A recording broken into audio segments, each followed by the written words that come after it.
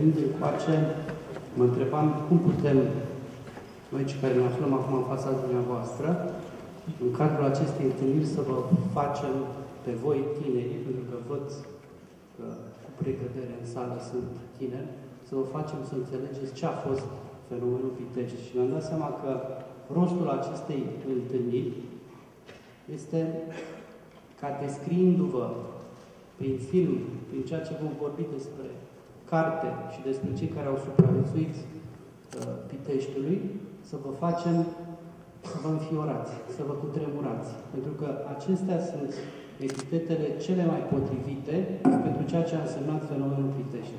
Deci, dacă întâlnirea noastră va fi reușită, va fi în măsura în care uh, voi, tinerii, veți pleca de aici cu senzația, cu impresia că în această țară s-a întâmplat ceva cum nu s-a mai întâmplat niciunul.